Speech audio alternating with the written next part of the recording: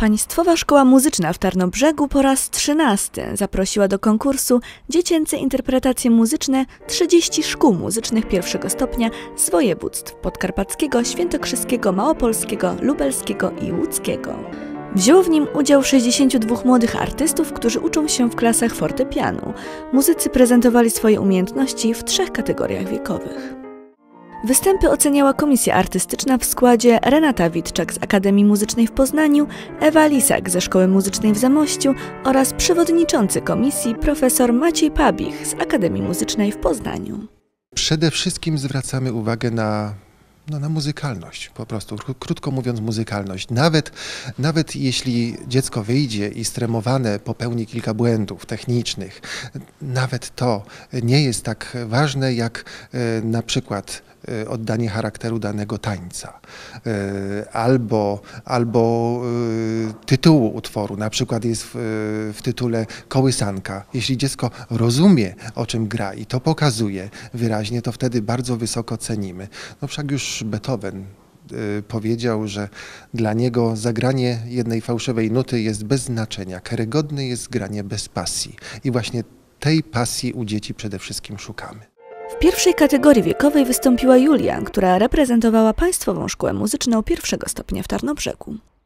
Y, Byłam zainteresowana fortepianem, bo w przedszkolu mieliśmy rytmikę. Do szkoły muzycznej już chodzę 4 lata i zapisałam się w wieku 6 lat. Najpierw trzeba się nauczyć y, dźwięków podstaw. Pani mnie zaczynała uczyć od samego początku gamy cedur. Moja nauczycielka, pani Ewa Ryś mi pomagała. Czasem tato ze mną y, siedział przy pianinie i długo trzeba ćwiczyć takie utwory, żeby się przygotować na taki ważny koncert. Dziecięce interpretacje muzyczne to konkurs, który warto organizować. Dzięki niemu młodzi muzycy nabywają wielu przydatnych, nie tylko muzycznych, umiejętności. Przede wszystkim uczą się panowania nad tremą, uczą się y, prezentacji estradowej, właściwie dla nas takiej można powiedzieć koncertowej, scenicznej, co jest dla nich bardzo ważne, bo przecież my nie uczymy tylko po to, żeby sobie samemu gdzieś tam po cichutku coś zagrać, natomiast żeby umieć rzeczywiście się zaprezentować na scenie.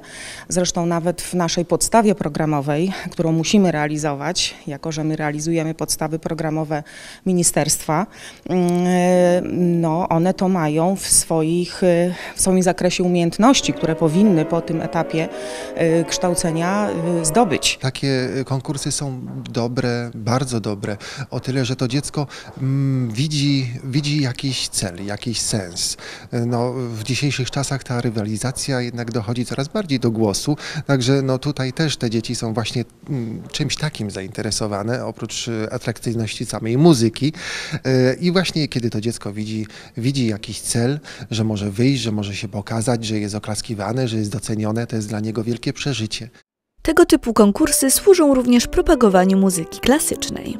Ludzie teraz no, y, otoczeni tą kulturą masową, y, tą muzyką popularną, ym, oni po prostu nie znają, nie znają tej, tej sztuki wyższej, tej, tej muzyki i y, po prostu się jej boją.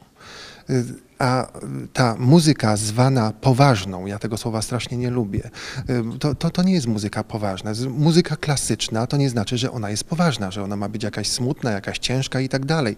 Wszak w, w muzyce tej właśnie tak zwanej poważnej jest wiele utworów lekkich, przyjemnych. Kiedyś właśnie przy takiej muzyce po prostu się bawiono. Przy muzyce Mozarta, przy muzyce Haydna, przy muzyce Bacha. Także, także y, to, jest, to jest troszeczkę tak jak y, z kuchnią. Ktoś y, lubi kotleta schabowego i, i tylko to uznaje i dla niego owoce morza są czymś dziwnym, a przecież owoce morza są wspaniałe. Tegoroczną edycję konkursu wsparło Starostwo Powiatowe w Tarnobrzegu. Starosta ufundował wspaniałe nagrody. Pan starosta odpowiedział na nasz apel pozytywnie. No właściwie nigdy nie mieliśmy sponsora, zawsze radziliśmy sobie we własnym zakresie. Także piękne nagrody ufundowane przez e, starostę powiatu tarnobrzeskiego. Także bardzo się cieszymy. Cała przyjemność po, po mojej stronie. Rzeczywiście e, było tak, że kilka miesięcy temu, myślę, że to już ponad pół roku temu, rozmawialiśmy w zupełnie in- innym temacie z panią dyrektor i pani dyrektor zapytała, czy nie zechcielibyśmy jako Starostwo Powiatowe w Tarnobrzegu objąć patronatem 13 regionalnego konkursu e, interpretacji muzycznych. E, No powiedziałem, że bardzo chętnie, no bez, bez, bez jakiejś większej chwili zastanowienia, dlatego że uważam, że naprawdę warto. To e, dziedzina, którą te dzieciaki wkładają całe swoje życie i należy to, na pewno należy to docenić.